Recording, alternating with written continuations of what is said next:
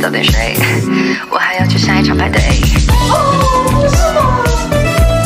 玩这么大？Hello，我是菲菲。这段时间我发现少了一点刺激感，我们今天来个视觉冲击，女装大佬，让你们见识下什么叫做比女人还要女人的男人，让我们大开眼界啊！开始。挺真的。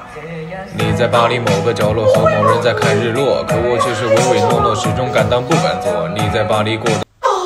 哦，不行，我有点受不住了。你们是不是被他那个小石头勾走了魂呢？哇，太行了！私のすべてを支配してくれよ。一定很厉害。我就说，我就说嘛。哇，直接女服装，而且那条腿还挺长的。一个字，绝。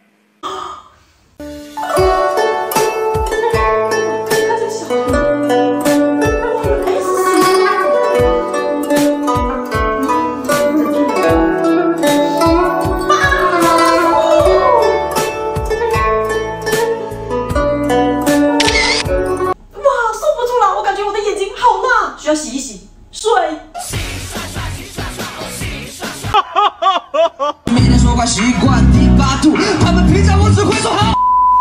你应该知道，我这么帅的只会出现在动漫。要想明白你是不是我标准的共犯，我知道要走的路少不了动乱，但你放心去了尝点前所未有的梦幻。我的心灵被冲击了一下，我感觉我心动了，因为他这个高清图缓缓的向我走来的时候，这个慢动作走进了我的心里面。纯正男生来了，洛丽塔，汉服，看到我是眼花缭乱，我突然发现宅男也有一颗少女心。